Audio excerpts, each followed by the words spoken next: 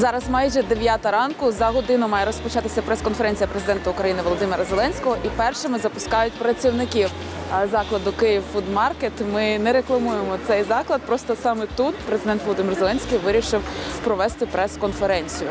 Першу.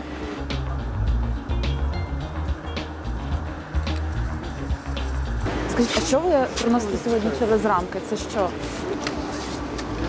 Потому что президент приедет, У них рамки не работают. а продукты стынут. Я так дивлюсь, вам не дуже подобається ця вся історія, так? Да. Потому что я уже должен заносить продукты и готовить. А я жду, пока подключат металлоискатели. Воно ж це цікаво, все одно почути, що президент скаже, правильно? Я працюю. Ні.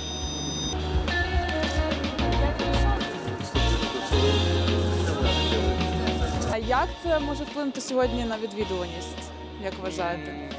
Думаю, никак. Основной поток у нас э, вечером. То есть как раз-таки, когда президент уже уедет, у нас будет возобновиться вся работа. Е, Сьогодні перша прес-конференція Володимира Зеленського Київ Фудмаркеті. Ага. Для вас це ну як е, дивно чи ні? Бо для нас, журналістів, це було якась дивна Дивно. Для мене теж дивно. Взагалі йду така Ну, я кожен ранок тут проходжу, тут ніколи такого не було. Тут черга завжди, знаєте, там заходити, а таке щось дивне. Як вважаєте, це креативно чи може ну таке собі? Ну, таке собі. Так.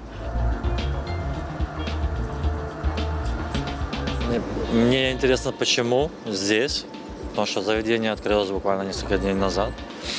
Вот. Мысли разные, но озвучивать не буду. Чего? Больше всего радует то, что вот там стоят люди, они как торговали, обычно так и торгуют, никто их не трогает.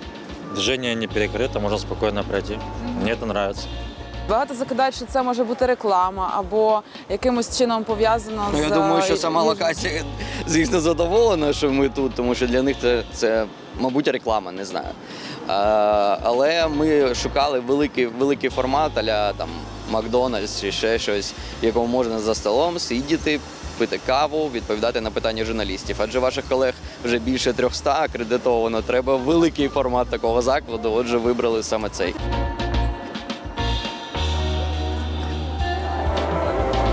Прес-конференція президента України ще не розпочалася, але тут вже є декілька акцій протесту проти рейдерів Київської області, проти мера Києва Віталія Кличка. Тут е, проти Юлії Мендель, речниці президента України, і ось там проти е, міського голови Дніпра Бориса Філатова. коли звільнять главу офісу президента Андрія Богдана. Матиме право обирати і обиратись органи влади. Сьогодні заклад Київ Фудмаркет має працювати в звичайному режимі. Принаймні це пообіцяли, що всі зможуть зайти. От ми зараз теж спробуємо зайти всередину і купити чогось поїсти або попити.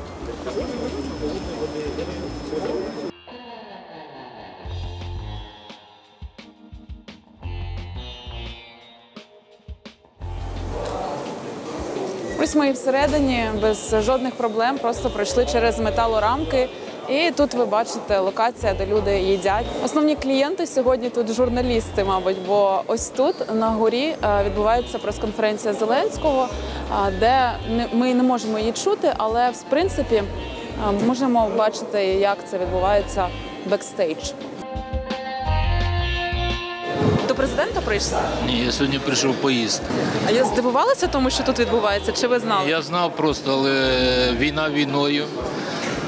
Інтерв'ю інтерв'ю, а обід по розкладу. Питання від частини протестувальників. Як вам передати зараз? Передавайте. Ну, як? Зараз. Піднятися, комусь передати.